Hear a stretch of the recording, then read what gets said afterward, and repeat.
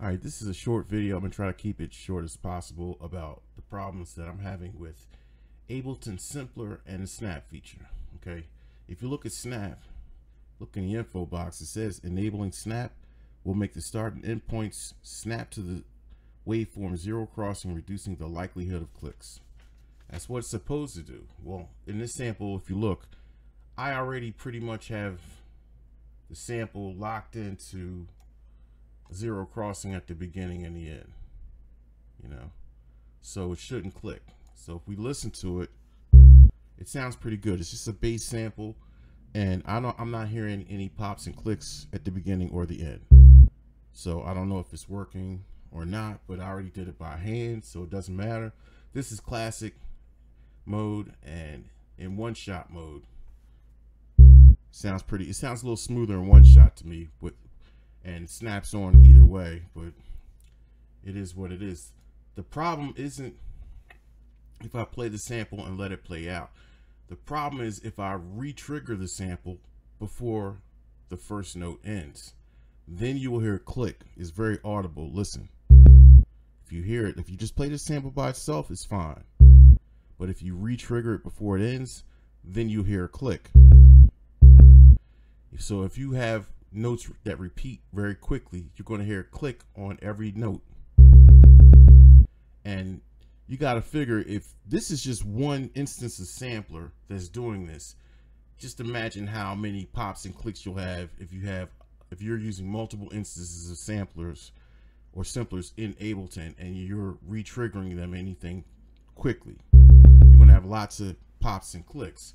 Now just to shed more light on the situation, what I did was I just created a, a, a quick little clip here that has a few notes where they repeat very quickly so that you can hear this what I'm talking about this lack of snap feature working.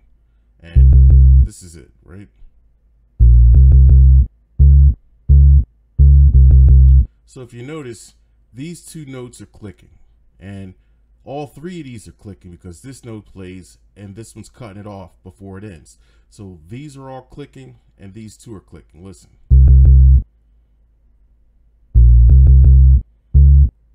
Now there's nothing that I can do inside a sampler or simpler, I should say, to seem to seems to eliminate that popping and that clicking there. I, I, went through, I changed all, I went to change the ADSR envelopes. I, I, went from one shot to classic.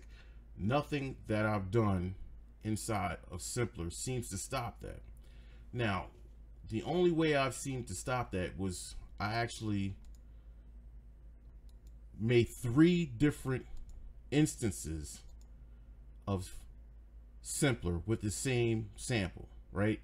And what I did was I used compressors and side chaining to eliminate those pops and clicks.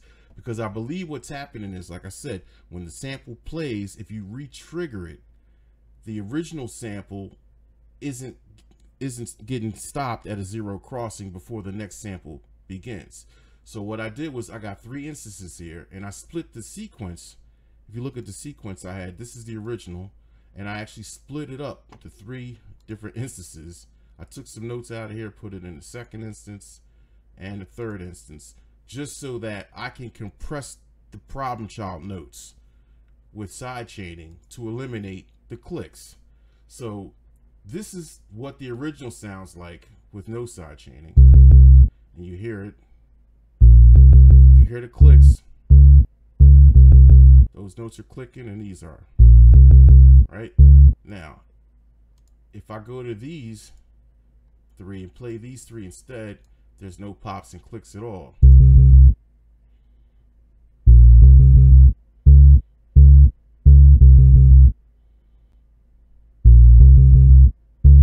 To me, this is a ridiculous workaround, but this is what works. So I took the first the first note and I put a compressor on it and the, the uh, side chain is being fed from the second note. Then on the second note, I have a compressor with side chain being fed from the third note and the third note has a side chain being fed from the first note so that this pattern here which is the original is now split up to three different tracks three different instances of simpler so that I can compress those notes so that I can get a, a, a, a pattern with no pops and clicks in it. Just like this. That's a lot smoother this. You hear the clicks.